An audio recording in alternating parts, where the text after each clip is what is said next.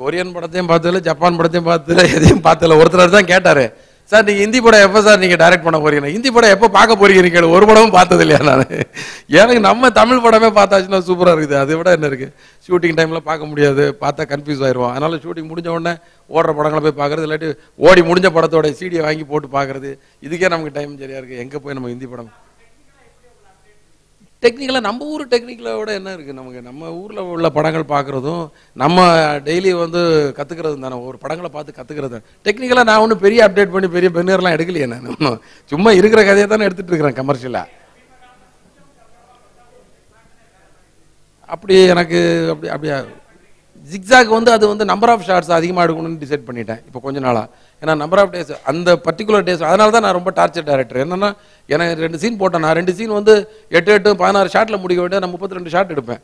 அந்த number of டே டைமுக்குள்ளே நிறைய shorts எடுக்கணும். அது நிறைய கட் பண்ணணும். ஸோ ஃபாஸ்ட் ஆகும்னு சொல்லி எனக்கு என்னுடைய சீனியர்ஸ் கற்றுக் கொடுத்த சொல்லி கொடுத்த விஷயங்கள். நிறைய ஷார்ட்ஸ் எடுங்க இப்போ வீட்டு விஜயன் சார் பெரிய அனுபவசாலி அவரது நிறைய ஷார்ட் எடுத்துருங்க. நல்லா கட் பண்ணும்போது ஸ்பீடாக இருக்கும். வேணும்னா டிசைட் பண்ணலாம். வேண்டாங்கிறத வந்து ஜம்ப் இல்லாமல் டிசைட் பண்ணலாம்.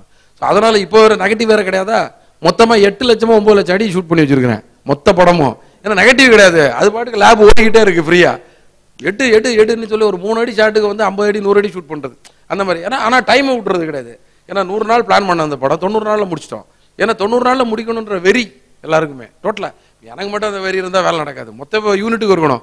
எல்லார்ட்டையும் சொல்லிட்டேன் அப்போ நம்ம ப்ரொடியூசரே டேரக்டரு ப்ரொடியூசரே வந்து ஹீரோவாக இருக்கார். ஒவ்வொரு அசைவுகளையும் நம்மளை பார்த்துட்டு இருப்பாரு. ஸோ நம்ம வந்து சொன்னதை விட கம்மியாக பத்து நாள் எப்படியா முடிச்சிடணும் இந்த படத்தை. அதுதான் நமக்கு வந்து அவருக்கு கொடுக்குற நம்ம வந்து ஒரு பெரிய ஒரு பெனிஃபிட்டாக இருக்கும்னு சொல்லி அந்த மாதிரி முடித்தோம். நம்பர் ஆஃப் ஷாட்ஸ் நிறையா எடுக்கும்போது ஆட்டோமேட்டிக்காக வந்து மேபி நீங்கள் சொல்கிற மாதிரி இப்போ என்னன்னா ஒரு லென்த்தாக ஒரு நூறு அடி ஷாட்டை பத்து அடி ஷாட்டை ரேம் பண்ணி கட் பண்ணுறேன் அது பரபர பரபரன்னு எல்லாம் ஓடுது. மொத்தமும் பைக்கு கார் எல்லாமே ஓடுற மாதிரி. அது மாதிரி சிங்கத்துலேருந்து ஒர்க் அவுட் பண்ண ஆரம்பித்தேன் ஆக்சுவலாக இந்த படத்தில் வந்து ஒரு புதுசாக ஒரு விஷயம் பண்ணியிருக்கிறேன் பு- புதுசுன்னு சொல்ல மாட்டேன். ஏற்கனவே நான் சிங்கத்தில் பண்ணதை வந்து கொஞ்சம் ஒய்டாக பண்ணியிருக்கிறேன் தட் இஸ் சிங்கத்தில் ஒரு நாலஞ்சு ஷாட் ட்ரை பண்ணேன். இதில் ஒரு நாற்பது ஐம்பது ஷாட் ட்ரை பண்ணேன். எல்லாமே டாப் ஆங்கிளில் பண்ணியிருக்கிறேன் ஏன்னா ஒரு சேசிங் ஃபுல்லாகவே வந்து ஒரு வில்லேஜை வந்து டாப் ஆங்கிளே பார்த்தா எப்படி இருக்கும்? சாதாரணமாக மக்கள் பார்க்க முடியாத ஒரு ஆங்கிள் தென்னை மரத்துக்கு மேலேயோ பனை மரத்துக்கு மேலேயோ.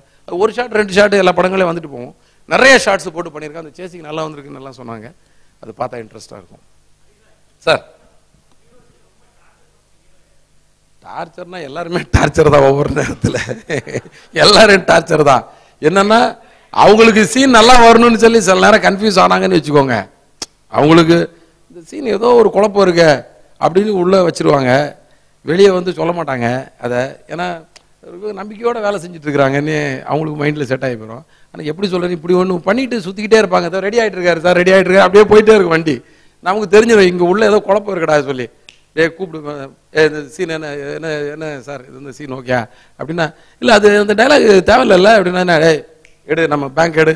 ஓப்பன் பண்ண. நானே பதில் சொல்ல மாட்டேன். என் அசிஸ்டன்ஸ் தான் பதில் சொல்ல வைப்பேன். ஏன்னா நான் பதில் சொன்னால் கன்வின்ஸ் ஆயிடுவாங்க நான் வேணும்னு கன்வின்ஸ் பண்ணுறேன்னு அவங்க இன்ஃப்ளூயன்ஸ் ஆவாங்கன்றக்காக என் அசிஸ்டன்ஸ் தான் கூப்பிடுவேன். வாங்க வாங்க வாங்க. எல்லாத்தையும் சொல்லு. இதுக்கு ஆல்டர்னேட்டிவாக நம்ம என்னென்ன பேசணும் எல்லாத்தையும் சொல்லு. எல்லாத்தையும் சொன்னோன்னா அவங்களுக்கு ஐயோ இவ்வளோ பேசியிருக்கீங்களா? அப்போ நீங்கள் எல்லாம் கரைச்சிட்டு தான் வச்சுருக்கீங்களா? Okay okay. இந்த மாதிரி ஒரு டார்ச்சர் ஒன்று சில எப்போது ஒரு படத்தில் ஒரு ரெண்டு மூணு நாள் நடக்கும் அது. எங்கேயாவது. அதெல்லாம் வந்து ரொம்ப ஸ்போர்ட்டிவாக எடுத்து போனாங்க ஏன்னா எங்களுக்கு வந்து டார்ச்சர் பண்ணுறவங்கள ரொம்ப பிடிக்கும். நீ கேள்வி கேட்டால் என்கிட்ட பதில் வரும். என் பதிலை வந்து நான் வந்து சரி பண்ணிப்பேன். உங்கள் கேள்வி மூலமாக என்னுடைய தவறு வந்து அடைபடும். இல்லையா? இதில் நான் ஆனால் இஷ்யூவாக எடுத்துக்கிட்டேன்னா அது பிரச்சனை. இஷ்யூவாக எடுத்துக்கிறதே கிடையாது யாரையுமே. டைமுக்கு வரலன்னா அது மட்டும் தான் இஷ்யூ வேற எதுவுமே கிடையாது. டைமுக்கு வரலன்னா இஷ்யூ தான். அது யாராக இருந்தாலும். அது கொஞ்சம் கஷ்டம்தான். ஆனால் தவிர்க்க முடியாத ஒரு காலமாக நம்ம இப்போ ஆயிட்டோம். ஏன்னா முன்னாடி வந்து யார் கையிலையுமே வந்து கேமரா கிடையாது. முப்பத்தி ரெண்டு ஃபிலிம் என்னமோ முப்பத்தாறாம் என்னமோ இருக்கும். அதே பார்த்து பார்த்து எடுப்போம் நம்ம. இன்றைக்கி டப் டப் டப்னு பப்ளிக் கையில் வச்சு டப் டப்னு அடிக்கிறாங்க. ஸோ கண்டிப்பாக வந்து ஒரு ஆர்டிஸ்ட்டை முகம் தெரிந்த ஒரு சின்ன ஆர்டிஸ்டாக இருந்தாலும் அவங்கள வந்து நம்ம வந்து ஒரு மரத்தடியில் உட்கார வைக்க முடியல. ப்ரைவசி ப்ராப்ளம் ஒரு மூக்கு கோல்டு பிடிச்சி வச்சு சீந்தனா கூட அதே ஒருத்தன் ஃபோட்டோ எடுத்து போட்டுருவான். இந்த கண்டிஷனில் இருக்குது ஸோ கண்டிப்பாக அவங்களுக்கு வந்து கேரவன் ப்ரொவைட் பண்ணோம் ஆனால் அதில் ரொம்ப நம்ம வந்து ரொம்ப கன்னிங்காக இருக்கணும் நம்ம. இன்னைக்கு யார் வரா? அடுத்த நாள் யார் போகிறா ஸோ ரெண்டு கேரவனை வச்சுட்டு எப்படிடா கேம் ஆடுறது இவங்களை வச்சுட்டு அப்படின்னு சொல்லி த்ரீ டோர் கேரவன் இருக்கா டபுள் டோர் கேரவன் இருக்கா இவர் சிங்கிள் டோர் தான் கேட்பாரு ஆனால் இவர் நாளான்னைக்கு போகிறாரு அடுத்த நாள் அவரை ஏற்றணும் நடுவில் ஒரு நாளைக்கு ஒரு கேரவன் வர வைக்கக்கூடாது. ஏதாவது ஒன்று போய் சொல்லி இவங்களை ஏமாற்றணும் இவரை சீக்கிரம் வர சொல்லி இப்படி ஒரு நாங்கள் ஒரு கேம் ஒன்று ஆடுவோம். அது வந்து ப்ரொடக்ஷன் டீம் கூட சேர்ந்துட்டு. அதில் வந்து அவங்களுக்கு ஏமாந்தா ஏமாற மாட்டாங்க. ஏமாந்த மாதிரி நடிச்சுக்கிட்டு அவங்களும் வந்து அட்ஜஸ்ட் பண்ணி போயிடுவாங்க. அப்படி போயிட்டால் நமக்கு செலவு வேஸ்ட் இருக்காது. ஆனால் கண்டிப்பாக கேரவன் கல்ச்சர் வந்து இப்போ நமக்கு கண்டிப்பாக தேவை அது. அது இல்லைன்னா வேலை அதுவும் லேடிஸ்லாம் வந்து ஒரு பெண்ணுன்னு நடிக்க வந்துட்டாலே அவங்களுக்கு நம்ம வந்து முழு பாதுகாப்பு கொடுக்கணும். அதுக்கு வந்து கேரவன் இல்லைன்னா நடக்கவே நடக்காது. ஒருவேளை ஒரு ரெசிடென்ஷியல் ஏரியாக்குள்ளே இருந்தாலும் வீட்டுக்குள்ளே இருந்து பண்ணிடலாம். ஓப்பன் ஏரியானா ஆம்பளைங்க கூட அட்ஜஸ்ட் பண்ணிக்கலாம். லேடிஸுக்கு வந்து மஸ்ட் கிவ் கேரவன் அது வெரி இம்பார்ட்டன்ட் ஒரு நமக்கு எப்படி கையில் மொபைல் ஃபோனோட சுற்றுறோமோ அந்த மாதிரி பைக்கில் போகிறோமோ காரில் போகிறோமோ அதே மாதிரி caravan is also important for film making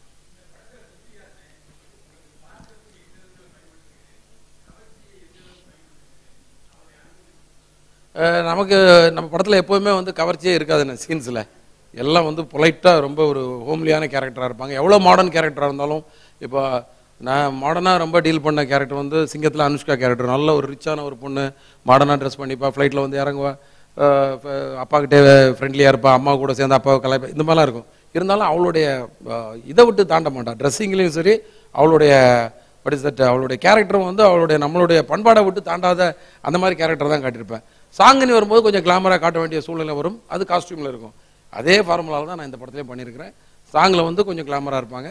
மற்ற சீன்ஸ்லாம் வந்து பொலைட்டான ஒரு நம்ம தமிழ் குடும்பத்து பெண்ணாக ரொம்ப அதுவும் ஒரு மாடர்ன் தாட் உள்ள தமிழ் குடும்பத்து பெண்ணாக அதுக்காக அவங்க வந்து ரொம்ப பின்னாடி போய் திங்க் பண்ணுறாலாம் கிடையாது. நல்ல யாராக இருந்தாலும் டேரிங்காக நின்று பேசுகிற மாதிரி ஒரு கேரக்டர் அதுக்காக தான் நாங்கள் ஸ்ருதியே வந்து இந்த படத்தில் அவங்க நடிக்கணும்னு நினச்சது காரணமே அந்த கேரக்டர் வந்து ரொம்ப முன்னோடியான கேரக்டர் அதுக்கு அவங்க பண்ணால் நல்லாயிருக்கும் இமேஜ் வைஸே அவங்களுக்கு வந்து அந்த மாதிரி ஒரு ஃபாஸ்ட் தாட் உள்ள ஒரு பெண்ணாக அவங்க வந்து ஏன்னா பல துறைகளில் வந்து அவங்க வந்து சாதனை பண்ணிட்டு இருக்காங்க. மியூசிக்ல இருந்து நடிப்புல இருந்து வந்துட்டு இருக்கனால அந்த இமேஜ் நல்லா இருக்குமேன்னு சொல்லி தான் அவங்கள நாங்கள் யூஸ் பண்ணோம். இல்லைங்க சார் நான் தெலுங்கு பண்ணலைங்க சார். ஏன்னா தெலுங்கு பண்ணுன்ற எண்ணங்கள் இருந்து ஆசை இல்லை எண்ணங்கள் இருந்துச்சு. ஆனால் கடவுள் புண்ணியத்தில் நம்ம படம் வந்து இங்கே வந்து உடனே டப்பாகி போயிடுது. இப்போ பூஜை கூட வந்து சைமல்டேனியஸாகவே ரிலீஸ் ஆகுது.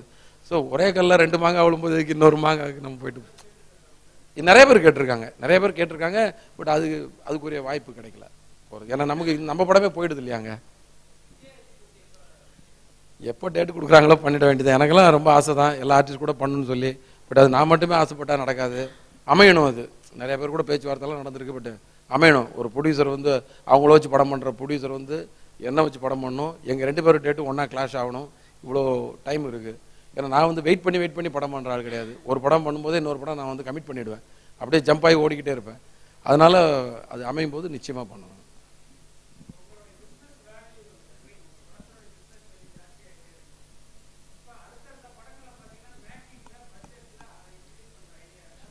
நிச்சயமா பண்ணியிருக்கிறோம். இந்த படத்துக்கு வந்து அதான் நான் சொன்னேன். இந்த படத்துக்கு வந்து நாங்கள் எப்பவுமே மேக்கிங் வந்து பண்றதை விட அந்த மேக்கிங்கில் மட்டுமே பண்ணால் பார்த்தாது எனக்கு இந்த கதையில் அது வரணும். கதைன்றது ஸ்க்ரீன் பிளேயில் வரணும். அந்த ஸ்க்ரீன் பிளேயில் ஏற்றிருக்கும் இந்த ஆக்ஷன்னா இங்கே வீட்டுக்குள்ளே போனான் வீட்டு வாசலில் ரெண்டு மூணு பேரை போட்டு அடிச்சு போட்டு வந்தான். இது வந்து மூணு நாள் எடுக்கிற ஃபைட்டு போனால் அவன் கார் எடுத்துகிட்டு கிளம்புனா இவன் சேஸ் பண்ணி போய் துரத்தி அங்கே போய் பொள்ளாச்சி டவுனுக்குள்ளே மடக்கி ரவுண்ட் ஆனால வச்சு வெளு வெள்ளு வெளுத்தான். இதை யோசிச்சு பாருங்க. ஒரு வாரம் பத்து நாள் ஆயிடுச்சா? சரி ஆக்ஷனில் வந்து உங்களுக்கு பட்ஜெட் ஏறிடுச்சுல்ல. ஏன் அந்த பட்ஜெட் ஏறுது பட்ஜெட்னா அந்த ஒர்க்கிங் டைம் எல்லாமே ஏறிடுது. ஏன் ஏத்துறோம்? ஹீரோவுக்கு வந்து இவ்வளோ நம்ம காம்பினேஷனில் இந்த அளவுக்கு ஒரு பிஸ்னஸ் இருக்கும். இந்த அளவுக்கு ஒரு வேல்யூ கொடுத்தா தான் ஆடியன்ஸுக்கு ஒரு இன்ட்ரெஸ்ட்டாக இருக்கும். வீட்டு வாசலில் போய் ஒரு கதையை மட்டும் சொல்கிற கதையாக இருந்தால் வீட்டில் போய் நாலு குத்து குத்திட்டு வந்தால் பஞ்ச் சவுண்டு கூட போட தேவையில்ல. அதையும் ரசிக்கப்பாங்க அதையும் ரசி மக்கள் வந்து எல்லா படத்தையும் ரசிக்கிறாங்க. நானே வந்து இப்போ வர்ற சி- சின்ன சின்ன படங்களில் உள்ள பெஸ்ட் ஃபிலிம்ஸ் டேரக்டர்ஸ் எல்லாம் கூப்பிட்டு தூள் கிளப்புறீங்க. உங்களுக்கெல்லாம் வந்து இன்னும் பெரிய ஆர்டிஸ்ட் கிடைச்சா பின்னி எடுத்துருவீங்க நீங்கள் அடிங்க. நானும் என்கரேஜ் பண்ணேன் பட் இது ஒரு பேட்டர்ன் இதுக்கு வந்து நம்ம அந்த ஆர்டிஸ்ட்டை மைண்டில் வச்சுட்டு இந்த க ப்ரொடியூசருடைய கவனத்துக்கு எத்தனை நாள் நான் பண்ணலாம் உங்களுக்கு எவ்வளோ பண்ணால் கட்டுப்படி ஆகுன்றதை கேட்டுட்டு அதுக்கப்புறம் ஸ்டார்ட் பண்ணணும். அது அது பண்ணால் நம்ம வந்து ஸ்க்ரீன் ப்ளே பண்ணும்போதே வந்து இது இதுக்கு வேணாம். ஹெலிகாப்டர் வேண்டாம். ஏழு லட்ச ரூபா எக்ஸ்ட்ரா போகுது. இது வேஸ்ட்டு வர்றது பதினஞ்சு அடி தான் வருது படத்தில். நூற்றம்பது அடினா வைக்கலாம். ஹெலிகாப்டரை கூப்பிடலாம். பதினஞ்சு அடி எப்படி பண்ணலாம்?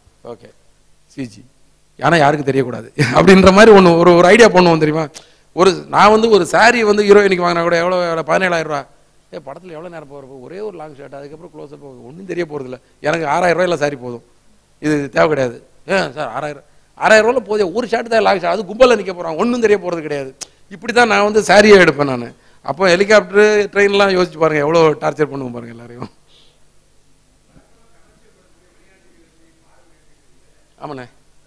இதில் சுவிட்சர்லாண்ட் போயிருக்கோண்ணே. சுவிட்சர்லாண்ட்லேயே ஒரு நல்ல இன்ட்ரெஸ்டிங் லொக்கேஷன்ஸ் கிடச்சிது. ஒரே ஒரு சாங் மட்டும் பண்ணியிருக்கோண்ணே